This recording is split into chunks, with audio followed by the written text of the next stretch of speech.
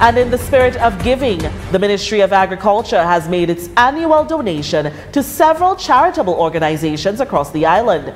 Institutions to benefit from this contribution include the Dominica Infirmary, the Princess Margaret Hospital, Each One Teach One, Chances, Portsmouth Hospital, Grange Home for the Aged, and the Grotto Home for the Homeless, where our cameras caught up with Permanent Secretary in the ministry, Harold Guiste, who made the donation. As you know, the Ministry of Agriculture is the, is the ministry responsible for food production, and therefore we have some food items that we are bringing here uh, at this time of year, where we can at least make some people happy and, and contribute towards them having a Merry Christmas. So, um, the, the, the, the, Minister uh, of Agriculture is not here at this time.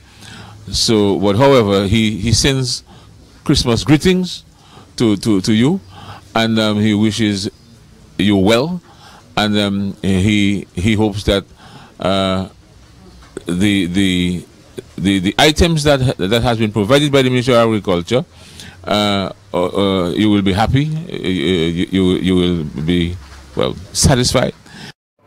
And Guiste was sure to thank all those who made the donation possible. And then also do we want to also and then also do we want to also recognize the farmers who gave uh, from their from their from their from their farms towards this this venture, and also the Ministry of Agriculture itself has produced both livestock and crops of its own that we have uh, harvested and put together to be able to offer you this this this um this food basket this morning.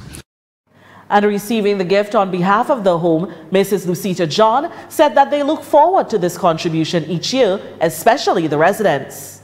We at the Grotto Home are happy to get this gift for the Christmas. We know Christmas is a time of giving and sharing. And we also look forward every year because the residents have been wondering, are they coming this week? So therefore you are accustomed of coming. So we'd appreciate everything you all brought for us. It will bring us a long way. And thanks to the government and the citizens of Dominica, especially the farmers, we wish them a fruitful 2017. And we are looking forward What the Grotto Home is a non-profit organization that caters to persons that are less fortunate and destitute in our society.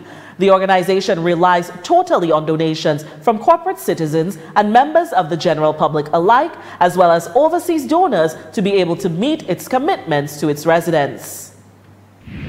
And also in the primetime news,